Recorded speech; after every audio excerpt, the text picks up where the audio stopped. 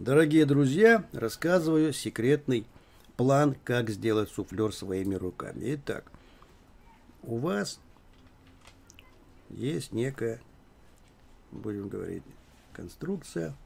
Например, это ведерко для стирального порошка. Если здесь есть крышка, отрезаете, она не нужна. Дальше. Вам надо, чтобы э, отсюда до сюда, вот так, под углом примерно 45 градусов располагалось стекло. Вот здесь оно может крепиться шурупчиком.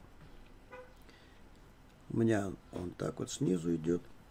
А здесь он упирается в подушку камеры Logitech. У меня C920, но Logitech Brio тоже пойдет. Вот эта подушка, так, а, у нее вот э, так одна лапка поднимается, вот здесь ось. И на этой э, лапке еще одна ось, и тут находится корпус этой самой камеры с объективом. Вот это сама камера. Тут у нее где-то объектив. Вот эту лапку можно поднимать вверх-вниз, регулировать, наклонять, э, регулировать как угодно. Она все двигается и хорошо фиксируется.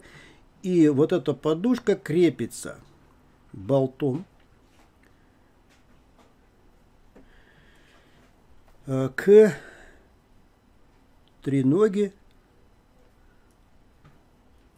Вот тут тренога. Ну, допустим, она вот так. Вот, ну, может быть, не совсем ровно, но вот крепится.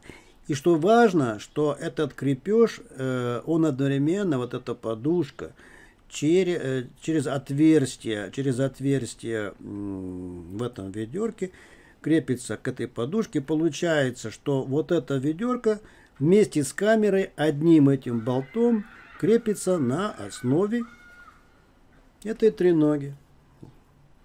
Вот это одно целое.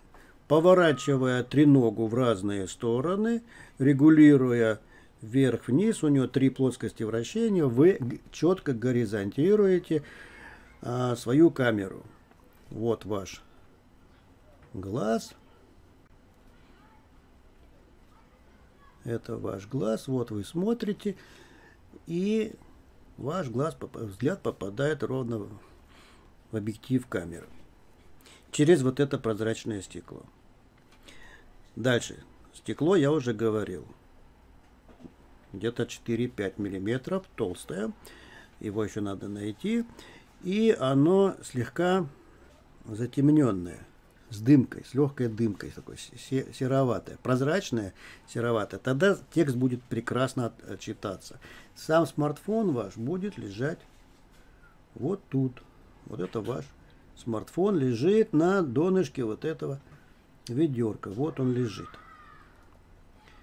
И там бежит ваш текст в зеркальном э, отображении. Он здесь виден, вы его читаете.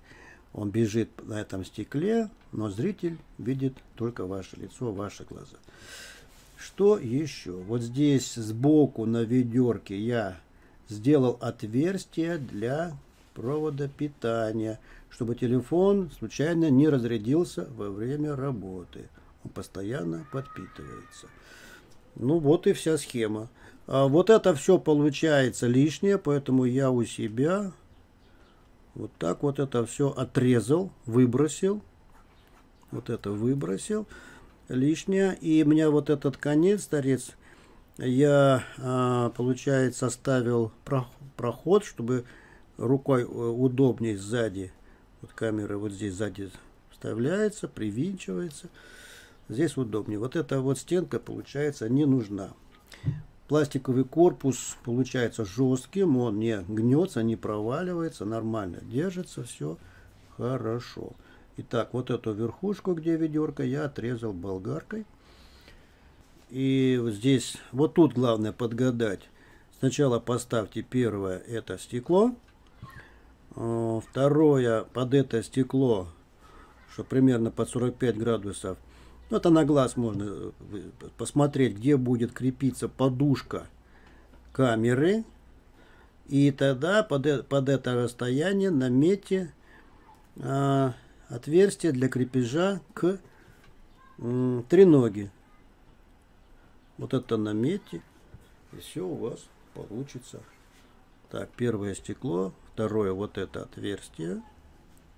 Вот это отверстие. А, третье. Прикрепить подушку. Четвертое. Вот эти вот оси а, подрегулировать. Это, это а, подрегулировать. Вы, выставить все нормально. Ну и пятое. Ставить сам телефон. Смотреть, как все работает. Все очень просто. Ну, работаю примерно ну, на полчаса. Вот это все можно.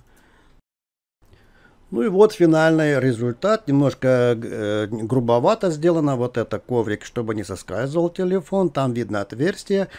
Передняя э, кромка моей камеры уже там клеем заляпана. Не обращайте внимания. А вот это вот э, боковушка у меня подрезана. И у меня не на треноге, а висит э, между телевизором и верх, кромкой монитора, все в воздухе. Спасибо за внимание, вот так все будет работать. До свидания.